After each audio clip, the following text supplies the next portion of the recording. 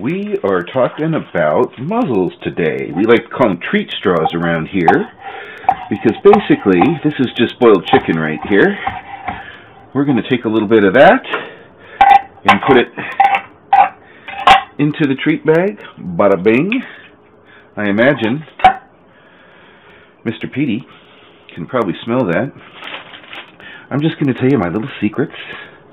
When this was first fitted to Petey, I left this on. So once when you put it on the first time, clip this into the hole next to the hole that you go into, and the next part will be much easier. You can see that I have this, the pin is in it about the second hole. I keep it intact, but I don't tuck the tab in because I want to be able to grab that very quickly. Eventually I'm going to have a dog's head like that. I want to be able to grab that tag, tab and be right where I'm supposed to be to lock it in. That's where I am now by having this clipped right where it needs to be. So that's the deal. Watch how quickly. So I'm ready. This can stay on, least for my dog. This can stay on, no problem. And uh, this is going to be the click that is the reason for the treat. So you can see this is going to be on in no time. And it helps if your dog is happy to have it happen. So let's see.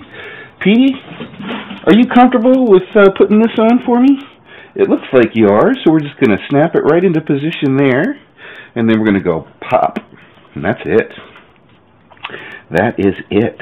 Cinch it down. It goes automatically right to where it's supposed to go. And I even made that a different color because that, that little hole is hard to get into.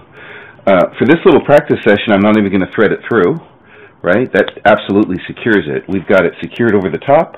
We've got it secured on the bottom. He's not going to get this off. It's right in position. Happy to have it done. And guess what? Nice. the reason we install this device is solely because uh, it is through it that one eats chicken. And, and uh, all I can tell you is as long as eating chicken requires a treat straw, Petey's going to be happy to put it on. And you can see it generally takes under 10 seconds for me to do. Taking it off is even easier. I undo this first because I want to be not biteable. And then, boom, Boom. Off it comes. Nice. Good job.